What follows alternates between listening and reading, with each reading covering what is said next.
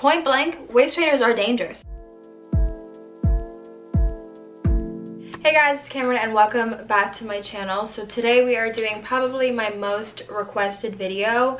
My number one asked question all the time is, are waist trainers dangerous? If you have not watched my waist training videos before, I will have that playlist down in the link below. Just get fully educated on everything that I advise with waist training so you can kind of get and understand where I'm coming from in this. I just want to go ahead and put out a disclaimer. I am not like some licensed doctored professional. I mean, we all get the gist. Every YouTuber has to do this because there's just somebody that's just gonna come in the comments and be like, pull up all these credentials and whatever. I ain't got time for that. All I am is a girl who's been waist training since she's 15. I'm 20 now. I have had five years of doing this. I've gone from a medium to a three extra small, almost four extra small. I have no health issues, so I'm well versed. I've done the extremes and I've done the not enough and I've done everything in between, so I know what I'm talking about. Anyway, so we're gonna get started with this video. I will have all the links for this stuff I got all my information from. If you're interested in waist training, don't do it because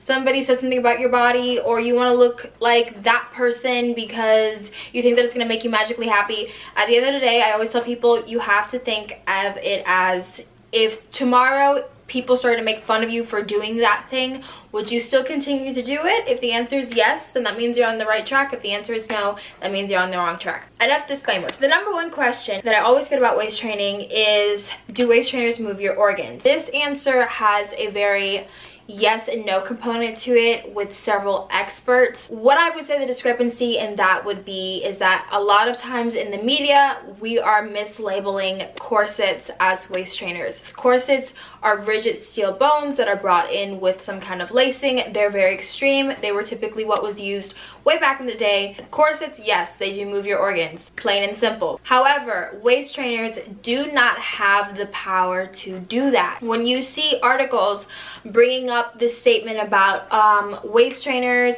move your organs, they're talking about corsets. If you take a waist trainer and you bend it in half, you'll see how flexible it is. That just doesn't have enough power to literally move your organs around. One of the quotes that I pulled up, it states, he does maintain that there's no real danger of waist trainers causing organs to move around or sustain injury.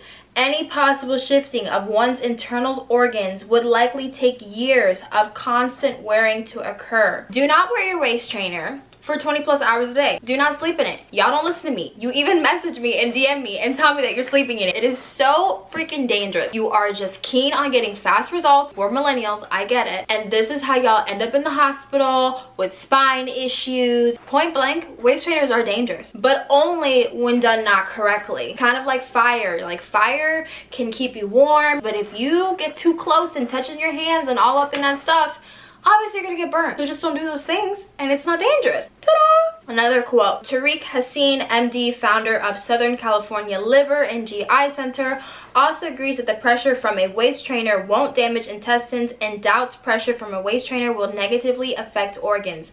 Compression to the abdominal area is not necessarily equated to compression of the intestines themselves, he says. The waist trainer, when used in conjunction with exercise will help the abdominal muscles form in a shape guided by the belt. So when you have anything compressing like that, your muscles will take the force, protecting your intestines from any pressure. So no, your organs are not moving. So what is moving? Your muscles. However, don't think like, oh, I'm this is not a big deal. Like, yeah, there's pressure being put on my muscles.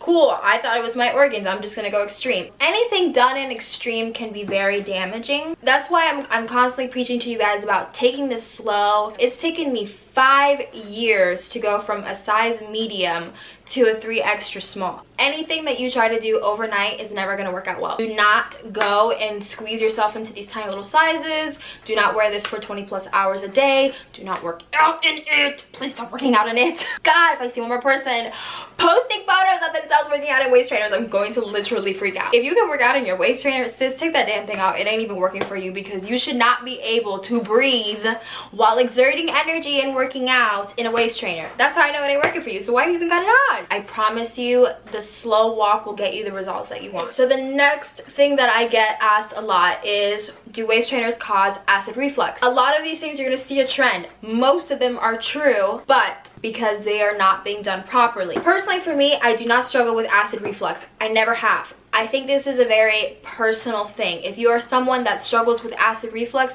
you need to not be having your waist trainer on when you're eating. You are putting pressure on your stomach. If you suffer from acid reflux and you're then adding on pressure to your stomach, yes, you are going to get acid reflux. So don't eat with your waist trainer on, wait like another two or three hours after you've eaten to put it back on. It's one of those like, if, if you have that issue, then you know you need to take those precautions. If you don't, then you don't have to take those precautions. Waist training is very personal you need to just pay attention to the reaction that you're getting from it. So another thing that I get asked all the time, or I, I get told. Waist training isn't permanent. It's a waste of time. Why are you even doing that? That is true. Waist training is not permanent. That's also the great thing about it. You are not doing anything that's permanent to your body. Maintenance is required. I've shown in some videos what it looks like when I haven't waist trained for a couple of months because if I don't use my waist trainer now, it will actually revert back very quickly.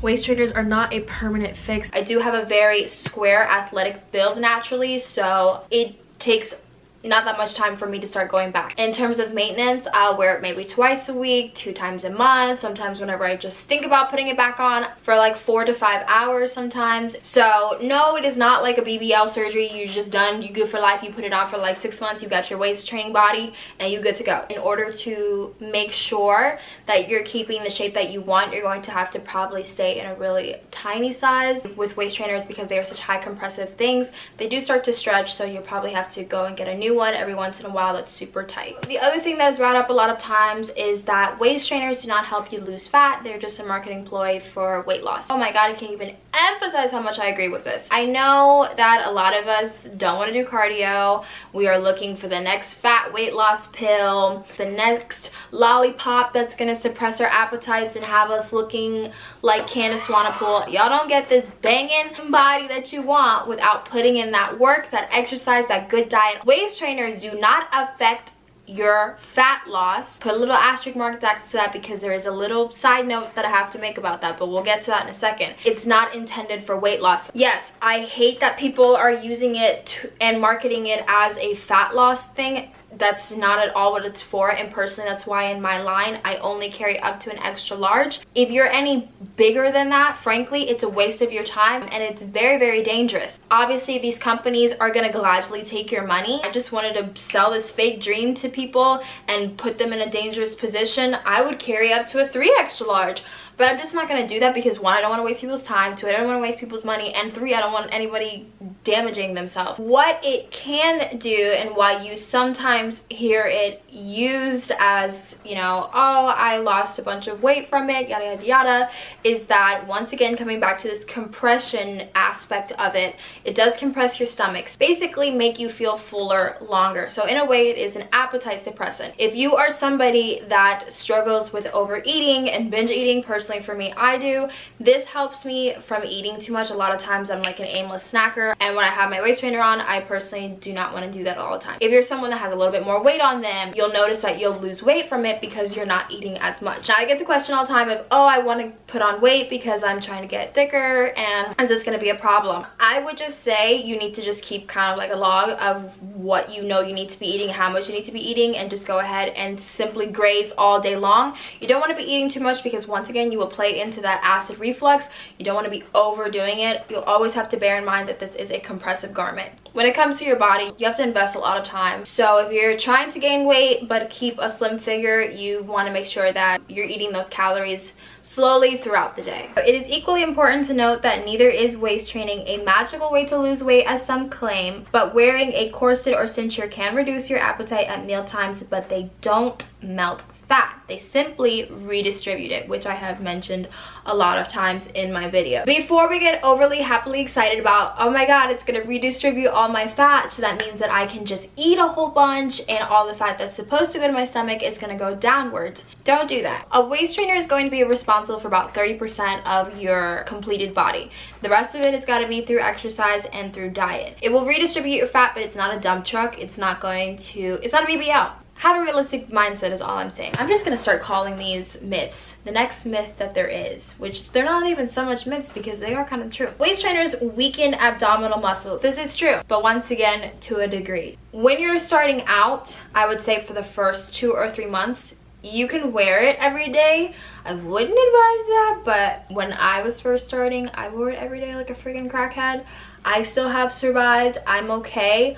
Um, i would just say you need to really pay attention to how you're feeling. This is what somebody said. If your waist trainer is causing you pain then loosen it that's it. You can wear it for every day for the first three months. I am not advising that you do that, but if you go ahead and do it because y'all don't like to listen to me, I say things and it goes in one ear, not the other. But personally, I advise spacing it out to every other day. You only maximum, and this is in the beginning, maximum, do not wear that thing for more than seven hours. I will reach through the screen and snatch your edges. Five to seven hours maximum. Take it off. I promise you will still get the results that you need. Some people push it to eight I, if you go over eight, you just, you setting yourself up. And don't wear to sleep.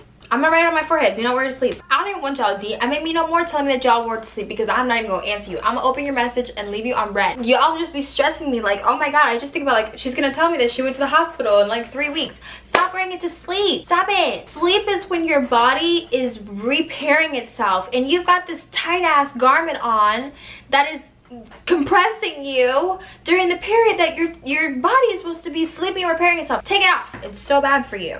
When you start to get this weakening of the ab muscles is when you are wearing it day in and day out. When you're working out, you are requiring so much core strength and you've basically got this garment on that's compressing you and taking away that core strength your core cannot engage and there you go you're weakening your ab muscles waist trainers help support you and too much of that extra support takes the stress off your core muscles and can make them weaker over time so what can you do to counterbalance this ab workouts re-engage that core get it back strong any kind of ab weakening that you could have possibly have had will basically be gone because you've you're getting strong core muscles. Chiropractor Rachel Sparks, not me, not Kamrin White, chiropractor Rachel Sparks says, although it may be tempting to wear a waist trainer during exercising, this time type of thinking is flawed. Chiropractor Rachel Sparks says, the more often you wear a waist trainer, the more it is going to be a source of support for your body as opposed to challenging your own muscles to keep you upright. The compression signals the back and core muscles to deactivate, which is a disaster for abdominal muscles you've worked hard to engage. The next myth that we're going to address is waist trainers restricting airflow. It's dependent on various elements. I have never had any problem with breathing while wearing a waist trainer i've been sitting here yelling at y'all for like 20 minutes and i'm breathing perfectly fine and i have a three extra small on right now. Once again if my as my favorite saying you cannot breathe and it is too tight, take it off. This is again why I advise not wearing it while you're working out. This is a period where you are going through a lack of oxygen. You are struggling to breathe. Your muscles are, are in hypertrophy. Hypertrophy? Know, let me not try and sound smart. You're struggling to breathe. You're having a hard time. This is not the time to be wearing something that is compressing your body. I don't know where the trend came from to start wearing waist trainers while you're working out. If you're wanting to sweat more, put a sweatband on because that's all it's doing for you is helping you sweat. Waist training is not meant for everybody. I think we need to really understand that and, and come to that conclusion that it's just not for everyone. I don't know if you guys know who Katya Elise Henry is and who Cassie Davis is. They're both very good friends with each other. Katya will literally tell you that waist training is the biggest myth of all time. It is the, the dumbest invention ever and it blah blah blah whatever. She just hates waist trainers. And Cassie Davis swears by them. I think we can frankly say that neither one of them is lying. Follow Katya and she follows me. I don't personally know her, but not to speak bad about her or anything. I'm not saying anything like that. Um, but who knows how Katya went about it, if she was wearing it while working out, blah, blah, any of these things. We don't know any of that stuff. I've watched Cassie Davis' video on waist training and she seems to have the same kind of ideals as me. So I like Sis's mindset. I think that she's doing it correctly. Those are two very big um, fitness influencers I know that have that are friends that have completely different ideas about waist training. So yes, it is very personal and it is all dependent about how you do it. You have to see if it works for you. If it doesn't, if it's causing you back pains and you can't breathe and girl, sorry, you're gonna have to find another method. It's just not gonna work. Um, the other thing that I wanna address is do waist trainers move your ribs? The answer to that is yes, that's true. They do move in the bottom two floating ribs. So we have to bear in mind that the two floating ribs, if you see people that get their ribs removed, it is a approved cosmetic procedure. Those are the two ribs that they get removed. We also have to bear in mind that women are meant to bear children. Our organs completely shift around, like just somersault, and everyone survives and it's perfectly okay. So I would think that that would be a lot more scary than the two bottom floating ribs that basically everybody seems to think are useless. They're not useless, no, they're really important. Those two moving in, like, I would think that's a lot less scary than your whole organs like shifting around in your insides. If to you that is like the canceling, I gotta go, that's too much for me, then that's okay. Waist training is dangerous but only when done to these crazy extremes that you honestly make sure that you've got the right size on, that you're doing things correctly. And once again, if you are someone that is over the size, I would say, of a 34 inch waist, you do not need to be waist training. Too much fat is just another added barrier of compression pressing in and, I hope that doesn't offend anybody that's not my intention at all um, I just I don't want to waste people's time and I don't want you guys to do something that's dangerous for yourself. The common criticisms of waist training include bruised ribs, acid reflux, shallow breathing, and back pain are most often the result of taking waist training to the extreme, tightening too far too early, or wearing a garment that is sized incorrectly. A lot of extreme stories you see about waist training on the media are things actually being mislabeled about speaking about corsets. Corsets are not my cup of tea. I feel like they require a lot more knowledge and a lot more safety when doing so. You just see some people going crackhead with corsets and trying to get like 13 inch waist. That's not normal. As long as you know the difference, it's pretty easy to decipher um, what's a crock of cockamamie and what is not. So I hope that answered everyone's question. Um, this is a very controversial topic. I know that some people hate waist trainers and they think that they feed into these crazy beauty standards, which I highly agree with you. I think we also have to remember that everybody wants to look good, but just realistically, our standards of looking good is enforced by what's around us. I think that we just need to respect everybody's decisions and choices on things and understand that a lot of times people's own struggles and battles is a personal thing and sometimes some things are triggering for people and some things aren't. Like personally for me, when I was weight training, that was extremely triggering for me and was not healthy for me and so I couldn't do it any longer, but waist training doesn't do that for me. I am not intending to push any kind of beauty standard on anybody and I don't want to um, make anyone feel like they have to do this to feel beautiful. You guys are absolutely beautiful exactly the way you are. If there's anything that you want to change, that is completely up to you. Just please make sure that you're doing it healthy and safe. So that is all I have to say. If you are interested in purchasing a waist trainer, I do have my own line. Um, it is located on kwhiteshop.com. I also sell workout gear and apparel and all that good stuff. So if you are interested, you can check it down a link down in the description box down below. But if you guys have any more questions, you can leave them down there too. I'm willing to fight with some people about some things. Well, I'm not fighting. I'll have a good old debate with you guys. But yeah, I hope you guys enjoyed this video and I will see you guys next time. Don't forget to subscribe and give it a thumbs up and check out my social media and I will see you guys later. Also, I had no makeup on for this video, so if I look like a pasty crab, just, that's why. Well, that was not a good kiss.